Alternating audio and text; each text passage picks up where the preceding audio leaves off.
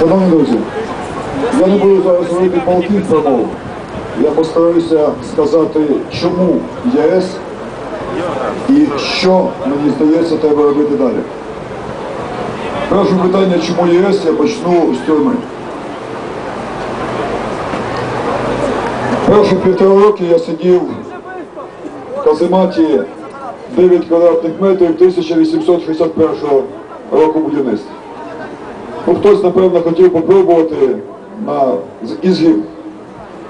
Але я дізнався, що в тому самому крилі смертників в свій час сидів Петлюра, потім холодноярські атамани, потім радянські дисиденти. І це знання додавало сил. Бо після таких попередників не можна не те, що зламатися, навіть здригнутися. І це була моя відповідь пануючому з 2010 року злу Януковича. Один день я домовився з охоронцями, вони мені показали розстрільну кімнату. Вона давно законсервована, там уже нікого не вбивають. Але підлога все ще масна від людської крові.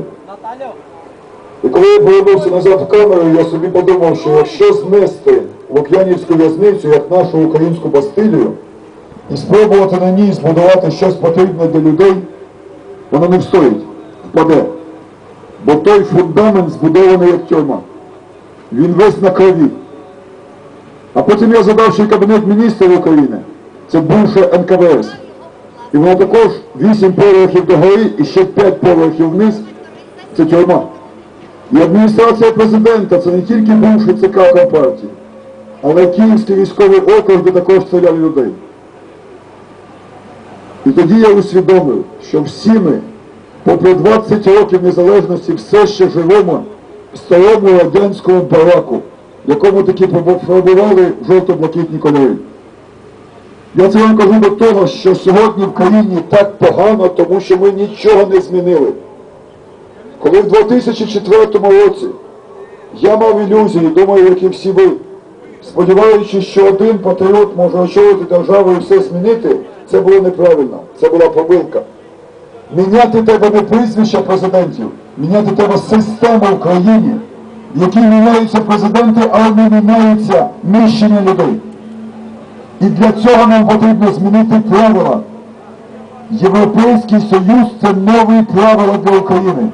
Для молоді скажу, нова матриця. Це зовсім інші відносини між державою і людиною. Бо сьогодні людина гвинтик. Держава все ще сталінська, і людина в ній має виконувати вказівки згори, а не навпаки держава її обслуговує, як це робиться в Європі. В Україні бізнес має платити правлячим гангстерам відкати щоденно, а не так, як в Європі, де держава допомагає бізнесмену. В Україні кожна людина, яка щось має, квартиру, бізнес, землю, може зранку прокинутися і дізнатися, що воно вже належить правлячій мафії. Ми повинні змінити систему відносин в державі. І тому асоціація з ЄС це наш шанс це зробити. Бо Європейський Союз має зовсім інші правила, де в центрі стоїть не президент і навіть не державний інтерес, людина. Проста маленька людина, якій гарантується освіта, а не фабрика штампування порожніх дипломів, медицина, а не право зайти в зруйноване приміщення з табличкою поліклініка, де їй гарантується робоче місце, де їй гарантується нормальна пристойна зарплата і пенсія, де їй гарантуються зрозумілі правила бізнесу. Європа це зовсім інше життя. Але, на жаль, сьогодні остання в Європі імперія під назвою Російська Федерація не хоче змиритися з тим, що вона втратила право керувати Україною. І вона робить все можливе і неможливе, аби зупинити Україну. Певний час Янукович йшов в Європу. Як ви думаєте, чому? Тільки тому, що він не хотів ділитися правом грабувати Україну з Кремлем. І в цьому був шанс. У нас був шанс використати цей гангстерський інтерес Януковича, аби він таки підписав асоціацію з ЄС. Його викликали в Москву і сказали прості речі.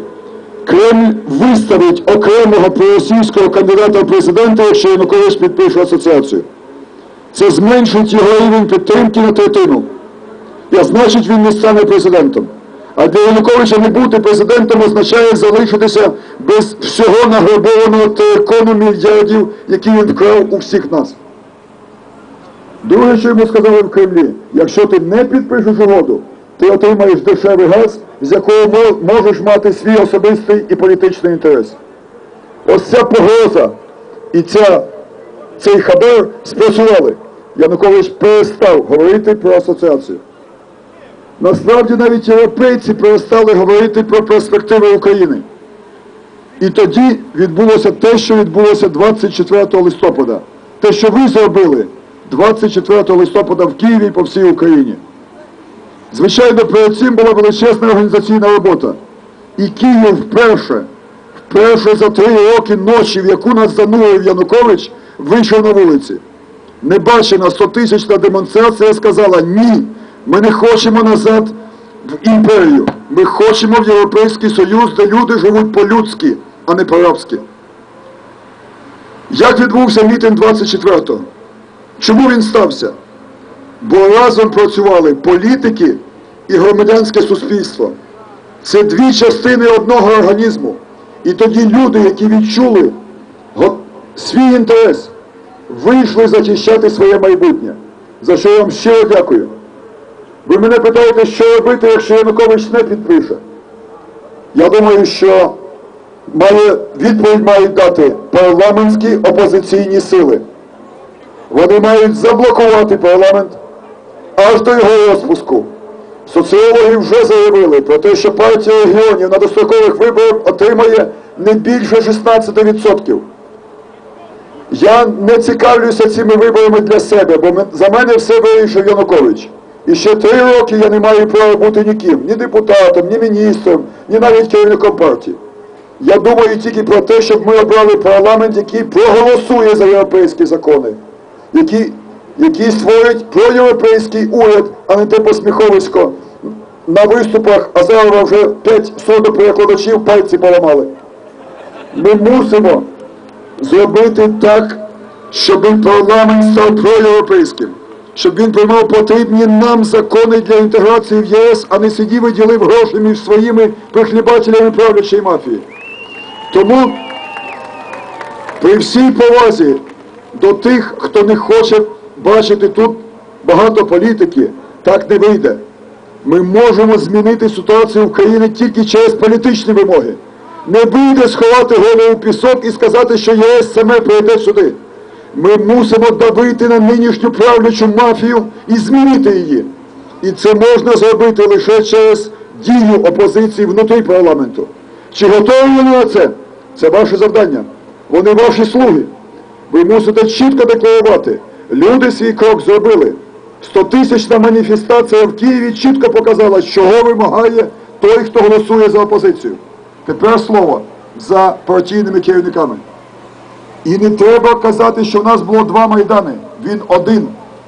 Вся Україна має стати майданом. І прошу вас, Шевченківське, обнімітеся, брати мої. Що ми можемо зробити потім, якщо регіонали втечуть з парламента і будуть невідомо де? Тоді ми всі разом маємо йти на всеукраїнський страйк. І сьогоднішня студентська акція не можна недооцінити. Це найважливіше, що відбулося після 24 листопада. Студенти почали боротися за своє майбутнє. Так є у всьому світі. Має бути в нас. І останнє. Щоб не учворив Янукович через декілька днів у Вільнюсі, він приречений. Він піде з посади, тільки питання одне, з дефолтом України чи без. Україна пограбована до такої степені, що її економіка без міжнародних кредитів не встоїть. Її не врятує навіть дешевий російський газ, хоча і його Путін уже вчора заявив, що не дасть.